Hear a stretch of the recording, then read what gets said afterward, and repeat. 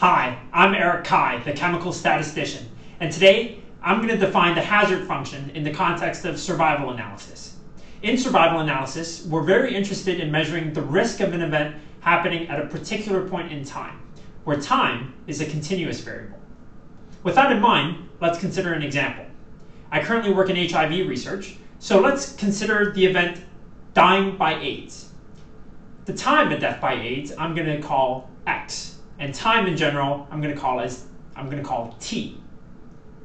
So the hazard function, which is a function of time, h of t, is defined as the limit as delta t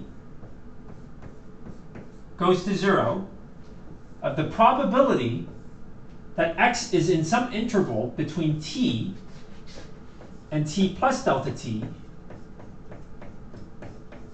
conditioned on the event that x is bigger than t, all divided by delta t.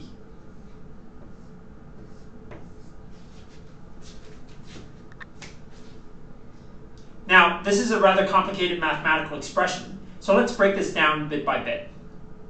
First of all, on first instinct, when you're trying to define the probability of an event happening at a particular point in time, you may be tempted to define the hazard function as simply p of x is equal to t.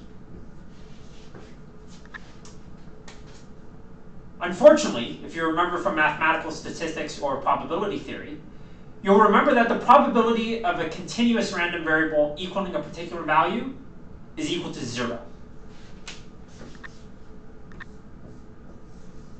So this definition of the hazard function is not useful to us.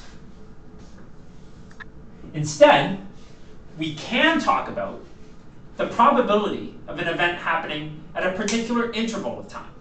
So that's why we're defining this probability of x being in some interval between t and some later time, t plus delta t. Now, you may be wondering why we're conditioning on the event x is bigger than t. Well, let's consider an example. If our patient of interest died in the year 2017, but the study started in, in the year 2019, then x is less than t. And if x is less than t, then the probability that x is in, in some interval bigger than t is equal to 0. So, in other words, if our patient died before the study began, the probability of the patient dying in some interval of time after the study began is definitely 0. So we have to condition on the, on the event that the patient hasn't died yet we have to condition on the event that x is bigger than t. We have to assume that the event hasn't happened yet. So that is why we use this conditional probability. That is why we condition on the event x is bigger than t. Now you may be wondering why we're dividing by delta t. Well, let's consider two arbitrary time intervals, delta t being 10 and delta t being 20.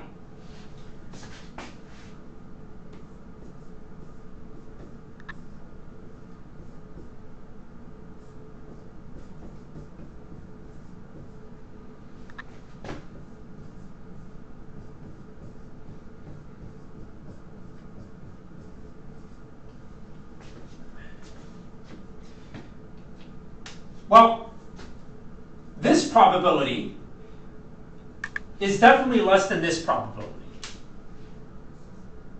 Or less than or equal to, anyway, because this event is a subset of this event.